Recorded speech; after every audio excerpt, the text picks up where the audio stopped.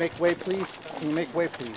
They're calling her the Aunt from Hell and the Antichrist. Why? Because she sued her 12 year old nephew. It looks terrible.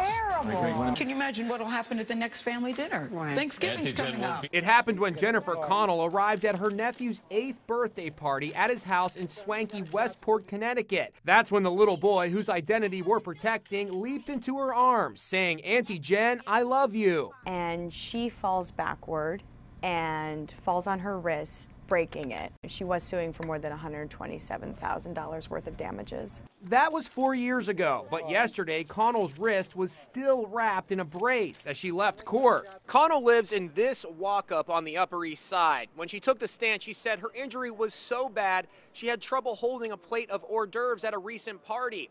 But the jurors apparently didn't appreciate the fact that an aunt was suing her little nephew. It took them just 25 minutes to reach a verdict and sent the aunt home without a penny. We just couldn't find them, um, you know, liable for what happened. This is one of the jurors. No, it wasn't. This is Steve, a dolphin. The little boy, Sean, shown here in videos posted online, looked perplexed when he sat in court. To compound the family drama, the boy's mother, Lisa, passed away suddenly just a year ago.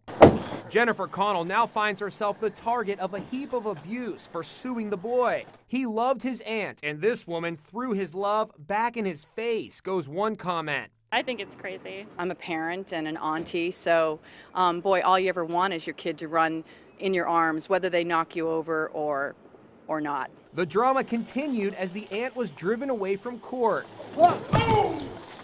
The aunt's lawyers say our client was very reluctant to pursue this case, but in the end, she had no choice but to sue the minor defendant directly to get her bills paid. Her hand was forced by the insurance company. Connell insists she loves her nephew.